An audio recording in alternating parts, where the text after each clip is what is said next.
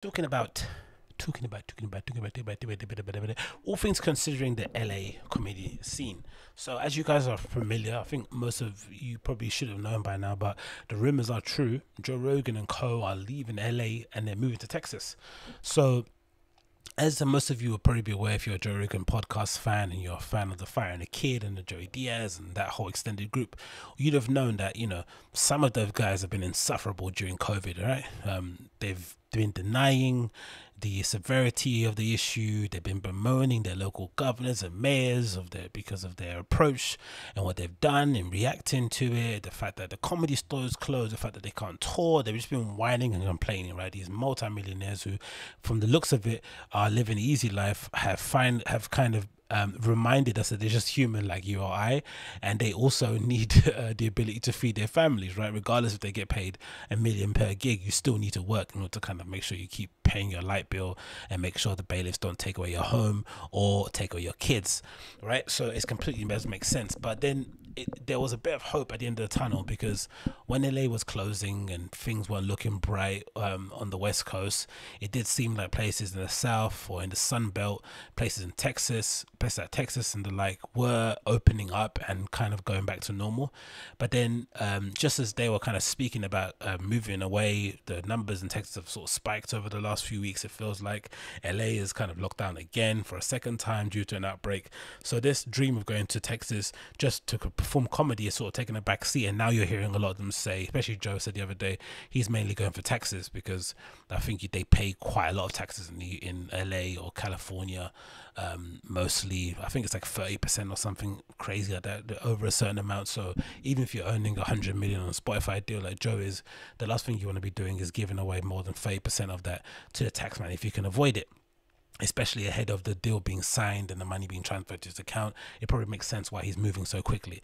Um, but it's a little clip from Joey Diaz kind of explaining the situation and what's going on, and just maybe as a a bit of an indicator, a bit of a caution, not cautionary tale, maybe a bit of a heads up for just us regular folk in terms of maybe not just looking at the situation, just kind of existing through it and just sort of sitting on our hands, but looking at what's happening with COVID around the world and wherever you are, that's affecting, you know, how you are, how it's which affected your plans, right? The fact you might have graduated or you have, or the fact that you're going to start an internship or you were going to start a business or you're going to go on a holiday. Things, you, everyone's plans have been kind of, you know, thrown in their head. So this might be a prime opportunity to actually assess reassess what you actually want to do and make some changes regardless because you know they're not going to all move there for comedy now because there's no comedy for a while. Maybe there's no stand up at all. There's no live entertainment in its conventional sense probably until the end of the year right? So um, they're just having to move anyway because they're seeing you know for the most part the residual or the after effects of this of covid especially in a place like la or especially anywhere really for the after effects are going to be felt for a long time after the fact anyway. So this is probably the best opportunity for you if you wanted to actually make some sort of radical life change to really think about it and you know and come to a decision quickly as possible because you don't want to waste this opportunity just kind of sit on your hands. But this uh, this is the video from Joey Diaz explaining why he's decided to or kind of announcing that he's basically leaving. Let it load, let it load, let it load. Come if someone told me, "Hey, it's time to leave," yeah, I like that. But if I if it's something that I have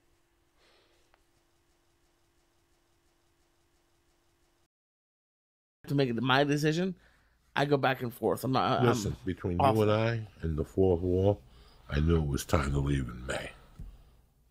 I knew it was time to leave. I had a funny feeling. I did not know about that they were going to reclose. I didn't know anything about that, but I thought it was time to leave in May. Oh, you mean L.A.? Yeah. In May, I was already telling people. I talked Rick Ramos into it. He got the fuck out of here. I talked my other friend to it. He got the fuck out of here. They, it made sense. They called me and I told them, you got to go. I understand your pain. I understand what you're going through, and I wouldn't be here. Can you imagine how many people would have left if they knew it was going to last this long? Like if, if in March you knew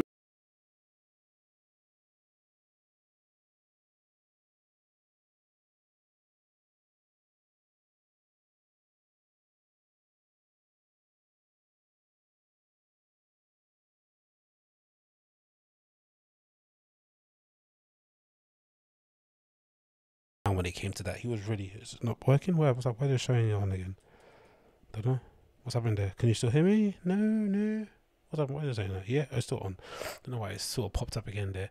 But um, sorry, Joey Diaz was on it. He was really, really on it. He knew exactly what he was talking about. He was kind of warning his fans, our listeners, such as myself, to kind of get, you know, to pull our heads out of our asses and really look at what's happening and make some changes. And it's hard, and even Lee mentioned previously at the beginning there, he said, you know, he's he'd most people are probably like that, right? You're only gonna make a move when somebody when there's no other option when you kind of backed into a corner.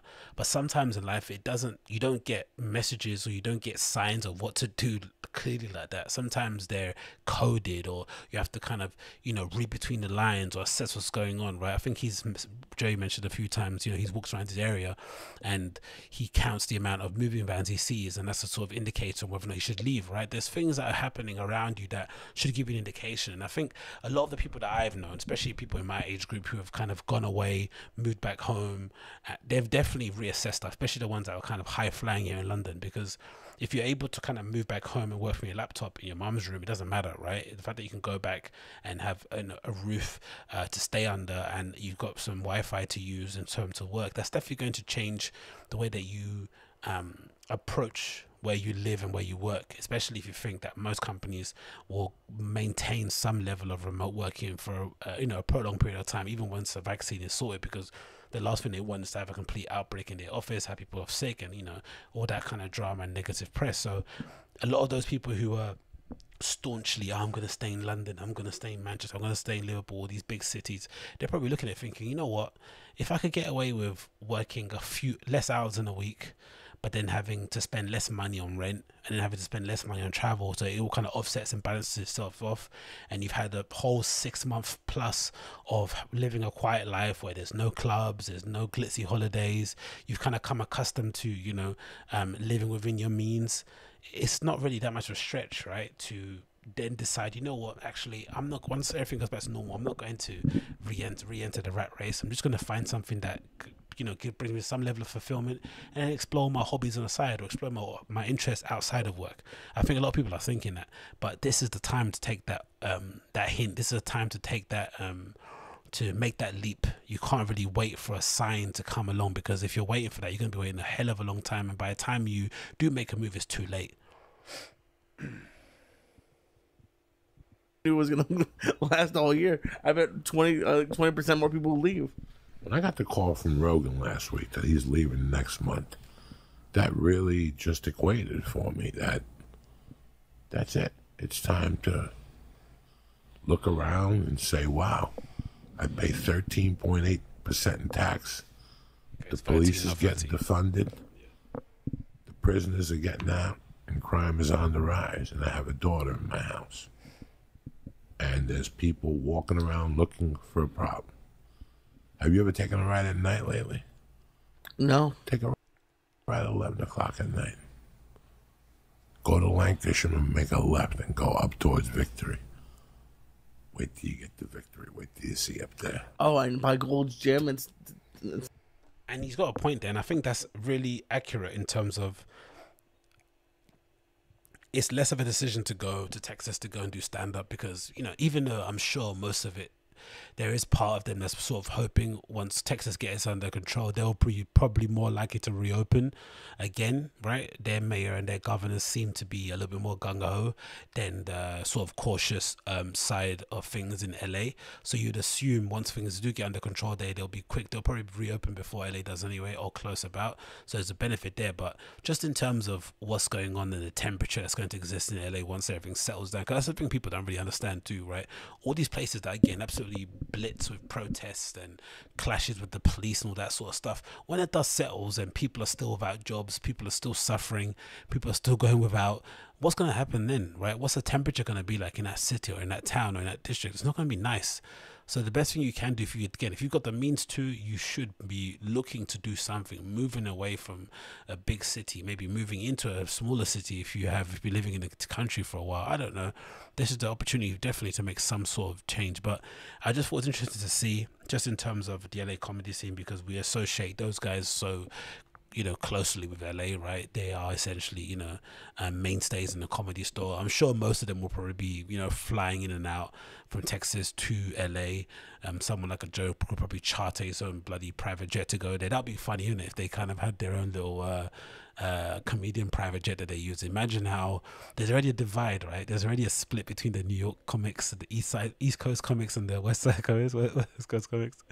Imagine if they finally charter a private jet in the shape of a Drake Airlines and use that to sort of ferry them across back and forth from LA to Texas. That would really cause a rift in the scene, and it would be fucking insane. But again, I don't blame them, man. Even myself, I'm considering making the move, you know, like especially with COVID happening. Like you just need to reassess everything you're doing. It's such a again, it's a terrible thing to happen to most people. I think you know, unless you're a multi-millionaire and you have the means, or you've got a massive nest egg, it's going to impact you. It's going to hurt your pocket sooner rather than later. Whether it's from reduced hours, being let go, or whatever it may be, it's going to affect you sooner rather than later. So the best thing you can do, especially if you have a, a young family, especially if you're thinking of starting a family, especially if you're at that age where you've, you know, deciding whether or not to what to do in your career long term, this is a great opportunity to actually reassess and think, hmm, do I want to do X, Y, and Z? Is it the right time to do this thing? Is it the right time to go into this place? Is it the right time to even switch careers in the first place, or should I be doubling down and you know trying everything and pouring into my dreams, whatever it may be? This is the time to really ask yourself that question. And unlike other times where you kind of you know you sort of procrastinate. This isn't the time. Once you make a decision you just got to act on it. This is what again these guys are probably a bad example because they've all got money and they've all got means to do so but i think the fact that they're all leaving so quickly within the space of a month of each other right? I've heard brendan schaub and bryan callen mention they want to leave. A few other people have said it. Like some people are moving to new york as well. Guys that were in la are moving back to new york because new york obviously has um, got the virus under somewhat control. There's a few clubs opening here and there with social distancing being being enforced so they have a, a, process of doing of kind of restarting their careers. Plus you could always come to europe.